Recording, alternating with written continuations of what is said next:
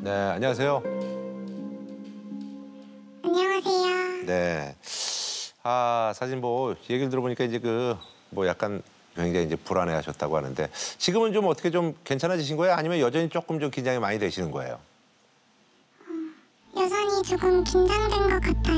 음, 그래 좀 긴장 풀으시고 그냥 어쨌든 오늘 여기 나오신 게 그 어떤 악연 뭐 그리고 이제 그런 상황에서 이제 벗어나려고 나오신 거니까 아, 어쨌든 의미 있는 용기를 내주신 거니까.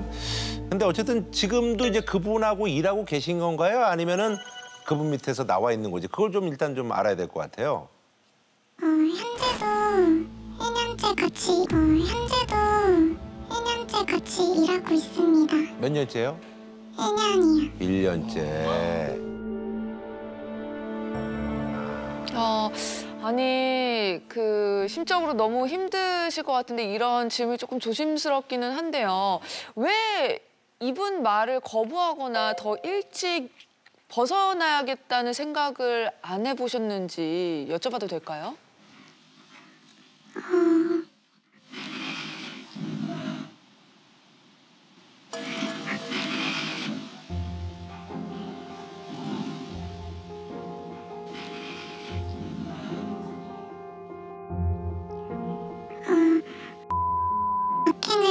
하거나 도망가면 앞으로 이 일을 못할 거라는 두려움이 음, 매우 컸고요. 예. 어, 항상 저에게 남을 무시한다고 태도를 지적하고 어, 굉장히 저를 문제 있는 사람이라고 몰아갔기 때문에 도망칠 생각을 하지 못했던 것 같아요.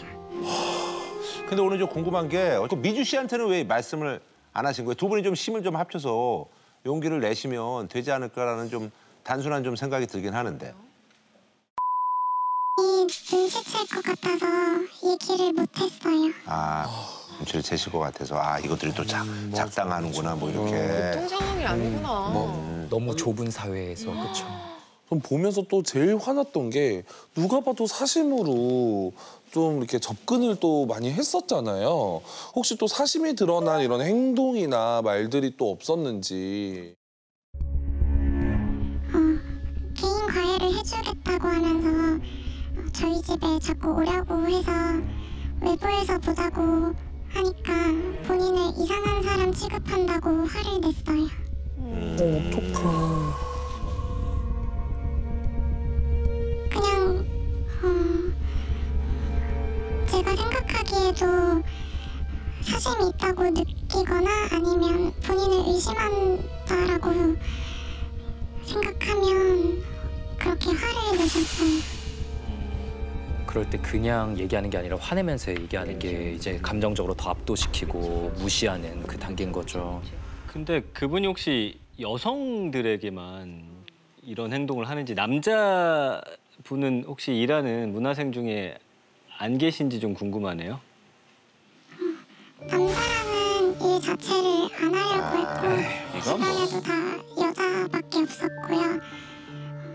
남자를 쓰레기 취급하면서 어, 자기 말고 남자는 다 쓰레기라고 했고 남자친구도 못 사귀게 하고 결혼도 하지 말라고 했고 지가 뭔데. 어, 그냥 너무 유치하고 아, 왜 이렇게 화가 나지? 이상한 사람이네. 예, 이상한. 좀. 이상한 사람이네. 도가 심하네. 근데 들어보니까 지금 이분은 이 감독님은 이 가스라이팅만이 문제가 아닌 것 같아요. 이런 분들은 사실은 연극 주인공처럼 모든 사람들의 관심을 독차지해야 되는 연극성 성격이 좀 있는 것 같아요. 음.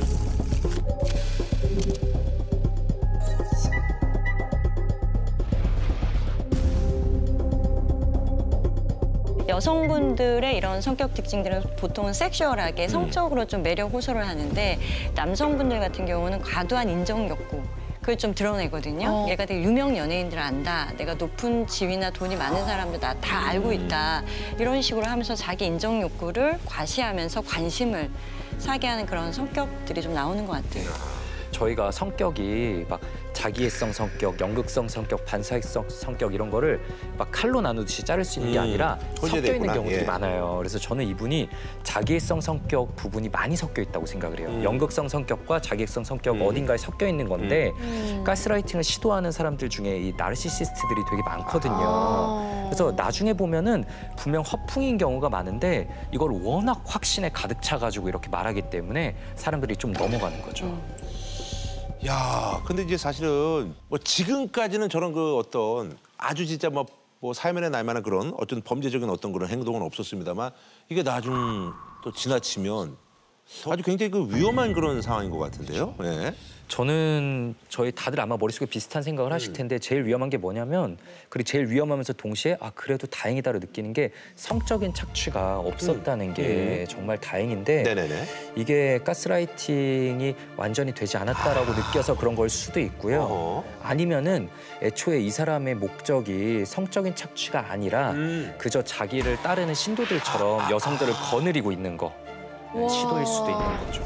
미치겠다. 소름 끼친다. 일부러 그렇게 하려고 해도 못하겠는데 이게 자연스럽게 그렇게 되는 건 거죠? 음. 아니 무슨 죄야? 다른 사람들은.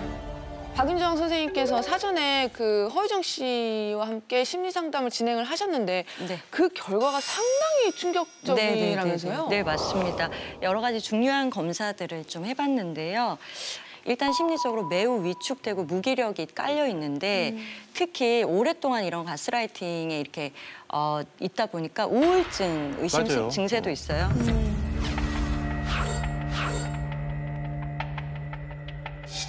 그 외에도 편집증, 뭐 음. 예민성, 그다음 트라우마 척도까지 떠서 트라우마. 이대로 갔다가는 사실 생명이 위협해질 수- 위험해질 수도 있기 때문에 빨리 치료 개입이 좀 필요한 상태고 빨리 도망치시는 게 좋을 것 같습니다. 그러니까 굉장히 지금 심각한 상태인데 음.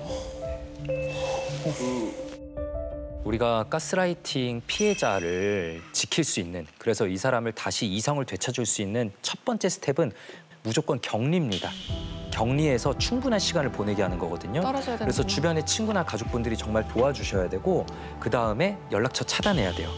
다들 여기서 제일 중요하게 생각해야 되는 게 마지막으로 한 번만 더 보고 얘기하자라는 말은 음. 절대로 들으시면 안 됩니다. 어. 예, 그 내가 가서 그 사람에게 복수하겠다, 화내고 오겠다 등의 생각을 가져도 안 안 됩니다. 어. 그냥 피하시는 게 당분간은 피하시는 게 최선이에요. 음. 아, 굉장히 지금 심각한 상태인데 아니 어쨌든 오늘 이렇게 좀 그 용기를 내서 나와 주셨는데 이 관계를 이제 내가 이제 더 끊어야 되겠다는 그런 확신 뭐 결심이 좀 쓰셨나요? 더 위험해지기 전에 도망쳐야겠다는 생각이 들어요. 음, 어, 여기까지 오는데 망설임이 많았는데 그래도 나오길 잘했다고 생각이 듭니다.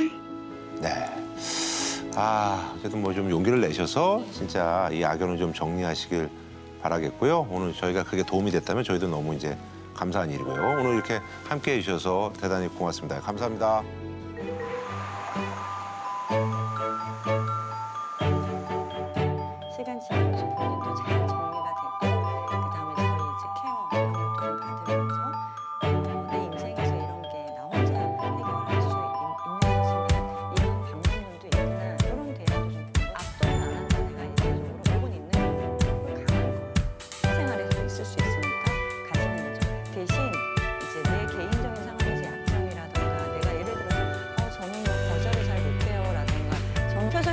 밝아지셨는데 좀 상담하고 나서 어떠셨어요?